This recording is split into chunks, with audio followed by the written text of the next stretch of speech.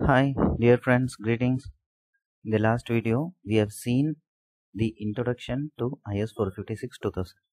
In this video, we shall learn some of the main amendments made. Page-wise amendments are discussed in this video. First of all, kindly check the color codes which are followed by this channel throughout the video for amendments made in IS 456 2000. Dark blue will represent the amendment 1 made in 2001 green for second amendment made in 2005 brown for third amendment in 2007 sky blue for fourth amendment in 2013 and navy blue for the last amendment made in 2019 which is the fifth amendment. This video consists only the major changes made in the amendments. However minor elements like spellings printing mistakes are not covered in this video I have planned to break the video as three parts, as all the major amendments cannot be covered in a single video. In all three parts, 90% of the operative part of the amendments are covered. PDF link of all the five amendments are provided in the description box. You can refer it. But whatever changes made in the tables will be fully covered in all the three parts of video. Now let us see the page-wise amendments. Page 10 Index. An annex named Annexure J is added in the Third Amendment 2007 for self-compacting concrete. Let us see the annex. Introduction for self-compacting concrete which says that self-compacting concrete do not need compaction is given in the first para. Other guidelines are slump to be maintained as 600 mm, reduction of fineness of sand and increasing the percentage of mineral admixture and cementitious materials are noted here. In page number 13, section 2, some amendments are there. Uh, before that, in between these pages, there are some amendments like uh, printing mistakes only that can be checked in the PDF which is provided in the link in the description box. Here in this page, changes are made in the grade of concrete. In the first amendment, the word 33 grade ordinary was changed to ordinary Portland cement without mentioning the grade number.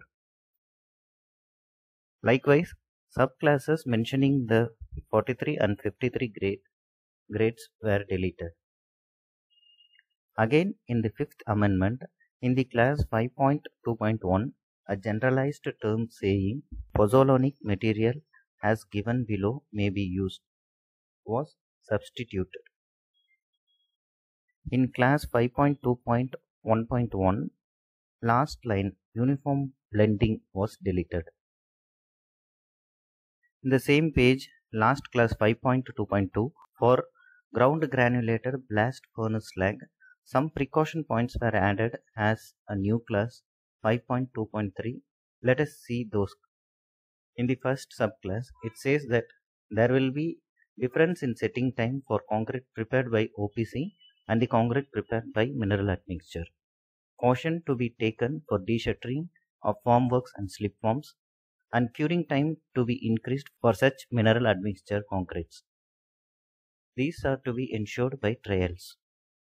Subclass 2 of 5.2.3 says that concrete to be protected against drying during and after finishing for those concretes mixed with mineral admixture. This is to be done as these concretes will exhibit more plastic shrinkage cracks. In class 5.2.3.3, properties of modulus of elasticity, tensile strength, creep and shrinkage shall be used as that of OPC concrete. Now we shall move to page number 15. Here an addition class for fibers in addition to reinforcement in amendment number 3. Further, the class 6.1.3 is replaced as concrete of grades lower than those given on table 5 may be used for lean concrete, foundation for masonry walls or temporary reinforced construction. Here the word simple foundation was removed in amendment 3. In amendment 4, a new class was added as 5.5.7 to maintain record to maintain record of quantity and time of addition of admixture. Okay, that's all for today and we shall see the continuation of these page-wise amendments in the next video.